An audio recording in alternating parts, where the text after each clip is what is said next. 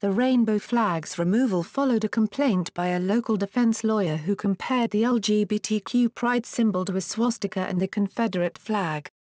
A Texas judge said she was forced to remove a rainbow pride flag displayed in her courtroom after a local defense lawyer filed a complaint with the state commission on judicial conduct. Judge Rosie Speedlin Gonzalez, an out lesbian, said the agency, which investigates allegations of judicial misconduct, mandated that she also remove a pen, eyeglasses and a mouse pad with rainbow patterns, along with a serape, a colorful traditional Mexican cloth. It felt like they were trying to shame me and bully me into not expressing who I truly am, said Gonzalez, who presides over Bexar County Court 13 in San Antonio. It felt like a kick in the gut. The State Commission on Judicial Conduct told NBC News it could neither confirm nor deny anything related to the issue, citing strict confidentiality rules. Flavio Hernandez, who confirmed that he filed complaints against Gonzalez with both the Bexar County Court and the State Commission in August, said he was grieved, when confronted by a rainbow flag prominently displayed in her courtroom and could not in good conscience submit himself or his clients to the implied authority of this unofficial flag symbolizing the judge's personal bias.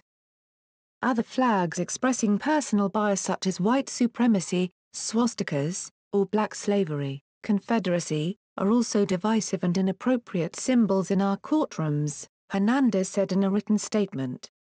I may not be able to turn the dark tide of legalized immorality infecting our nation like a virus, but in my small way, I voiced my support of traditional American family values. While the complaint filed with the Commission is not available to the public and was not provided to NBC News by any of the parties involved, Hernandez shared a copy of the motion that he said he filed with the court. In it, he called Gonzalez's courtroom conduct extremely repugnant, and said the judge's rainbow flag violates the Texas Code of Judicial Conduct. By prominently displaying the flag of her private bias on the bench of the courtroom, the motion states, Gonzalez abuses her power and office in causing all citizens under her influence, including our citizens who do not share her views, to submit themselves to the symbol of her preferred sexual orientation. The rainbow flag has been a universal symbol of LGBTQ pride, equality and inclusion since June 1978, when it made its debut at the San Francisco Gay Freedom Day Parade. The commission ruled in Hernandez's favor last month, according to Gonzalez, but she sent the agency a letter of appeal Friday. She told NBC News that Hernandez's complaint and the commission's decision in his favor are homophobia in its most transparent, clear definition. In an interview, Gonzalez, who is Mexican-American, also described the situation as xenophobic, gender-based discrimination and personal. She said that one county judge displays an Irish flag and that another wears a camouflage robe in the courtroom. She said there is even a family court in the county that displays rainbows in its courtroom, albeit not a rainbow flag. If you don't tell them to take their rainbows down, then it's not about the rainbow, it's about me, she said adding that she is concerned that the Commission's ruling will affect her ability to make a living going forward. Deanna L. Whitley, the judge's attorney, said the Commission did not have evidence that Gonzalez was biased in favor of LGBTQ defendants. To silence her once she's elected is unconstitutional, Whitley said. In an unrelated decision issued last month, which is available on its website, the State Commission on Judicial Conduct ruled that Gonzalez should be publicly admonished and ordered to obtain additional education for posts she made on her judicial Facebook page congratulating attorneys for verdicts made in her court.